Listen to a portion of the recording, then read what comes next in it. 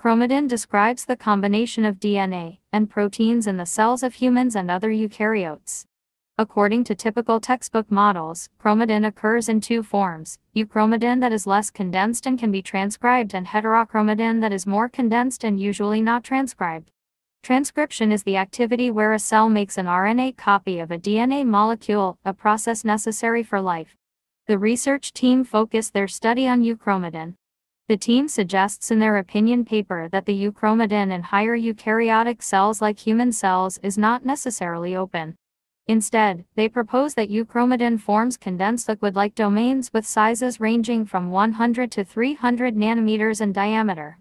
Recent advanced imaging studies involving 3D structured illumination microscopy, SIM, focused ion beam scanning electron microscopy, and single molecule imaging unveiled local chromatin conformation and have shown evidence that euchromatin forms condensed domains.